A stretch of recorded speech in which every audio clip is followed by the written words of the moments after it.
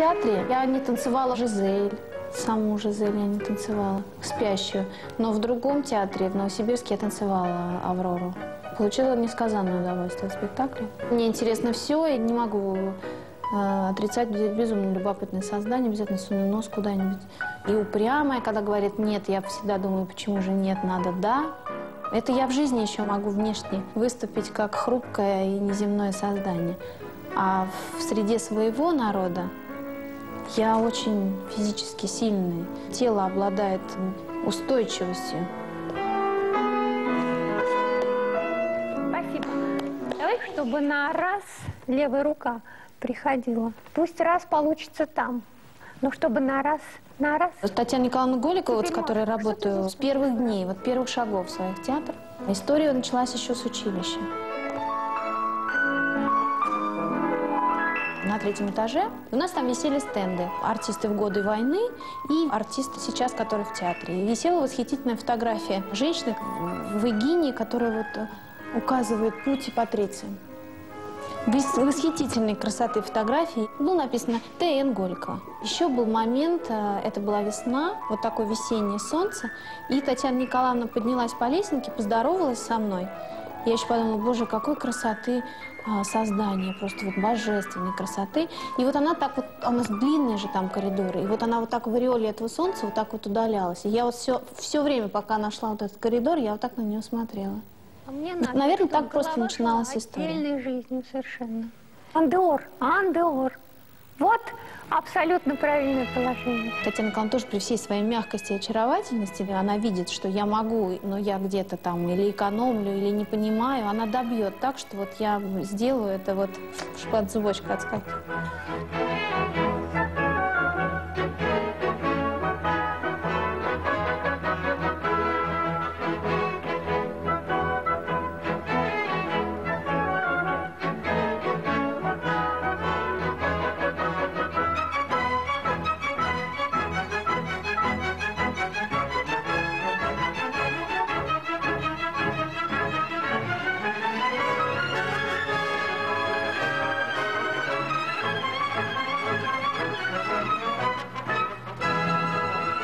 То, что я есть.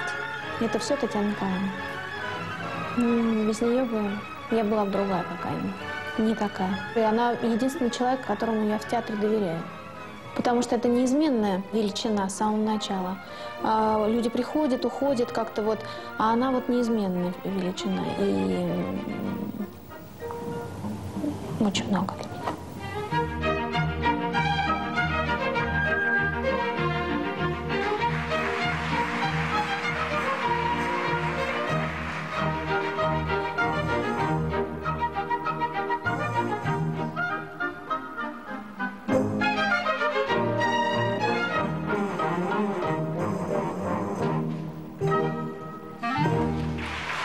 Спектакль «Пламя Парижа», вот роль Жанны невероятно сложна физически. Почему-то меня после этого спектакля ассоциирует с Жанной Дарк.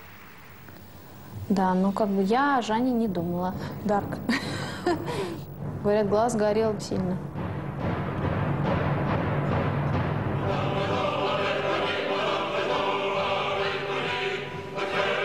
Алексей захотел сочетать две партии, Тереза и Жанну, и объединить каблуки с классическим исполнением. Это, конечно, невероятно. На этот спектакль я всегда собираюсь с духом. Прям вот собираю дух свой. Наматываю его так в клубок. Нужно на что-то опереться.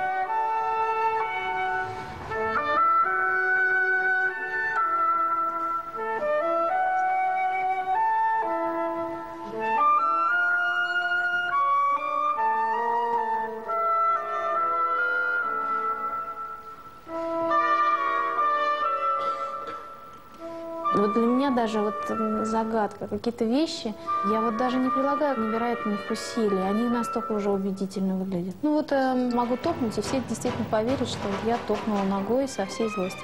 Хотя это совершенно вообще не... Ну, бывает, что я просто иногда, мо- может, даже этим могу воспользоваться как-то.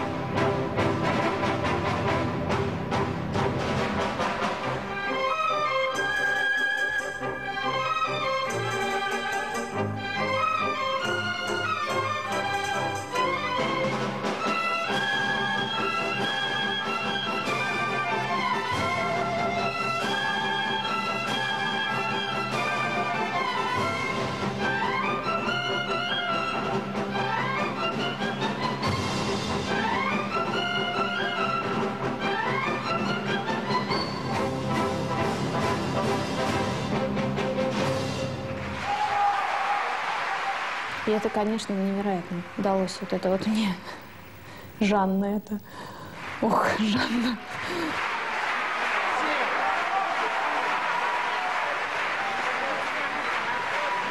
В личной жизни произошло тоже изменение, что меня очень радует. Я вышла замуж. А, больше не буду ничего говорить.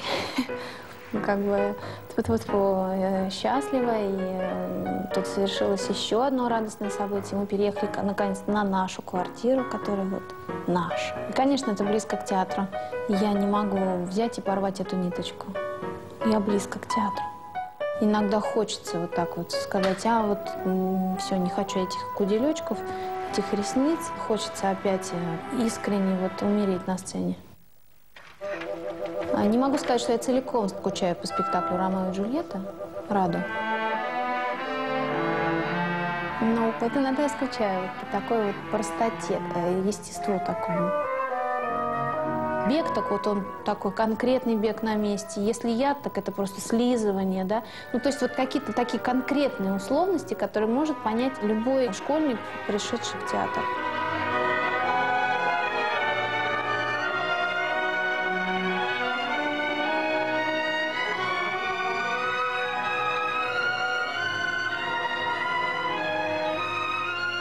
Когда проходит какое-то время, конечно, чуть-чуть этого иногда хочется. Мне нет ощущения, что я вот что-то такое прожила, и что-то я такое сделала, и вообще что-то... А что, по собственно говоря, я сделала? Ничего. Поэтому все надо начинать заново. Я готова.